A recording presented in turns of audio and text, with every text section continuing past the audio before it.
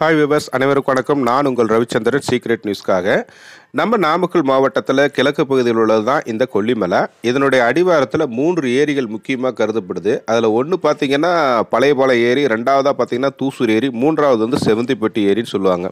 இதில் குறிப்பாக தூசூர் ஏரி என்பது நம்ம நாமக்கல் வரலாற்றிலேயே நாமக்கல் மாவட்டத்தில் உள்ள மிகப்பெரிய ஏரி எதுங்கிறதுல தூசூர் ஏரி தான் வருது.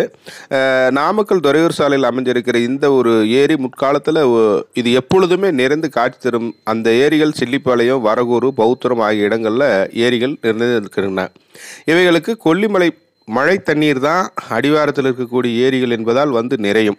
இவைகள் எல்லாமே நிறைந்த அந்த தண்ணீர் செவந்திப்பட்டி ஏரிக்கு சென்று அவ்வழியாக காவிரி ஆற்றை சென்றடையும். இந்த ஏரிகள் நீண்ட நாட்களாக நிறைவது இல்லை. தற்போது பெய்த கனமழை காரணமாக தூசூர் ஏரியானது நிறைந்து கடைக்கால் வழியாக தண்ணீர் வழிந்து வெளியே செல்கிறது. இவைகளை அப்பகுதி மக்களும் அவ்வழியாக சென்று வரும் வாகன ஓட்டிகளும் பிற ஊர்களைச் சேர்ந்த பொதுமக்களும் அந்த ஏரியில் இறங்கி கடைக்கால் வழியாக தண்ணீர் செல்வதை மகிழ்ச்சியாக கண்டுகளித்து செல்கின்றன பத்தாண்டுகளுக்கு அடுத்து இந்த தூசூர் ஏரி நிறைந்து வழிந்து செல்கிறது என்பது குறிப்பிடத்தக்கது.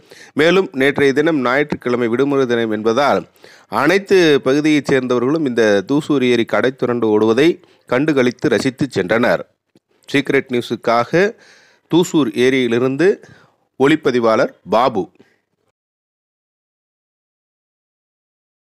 Tell me pretty lies, look me in the face. Tell me that you love me, even if it's fake.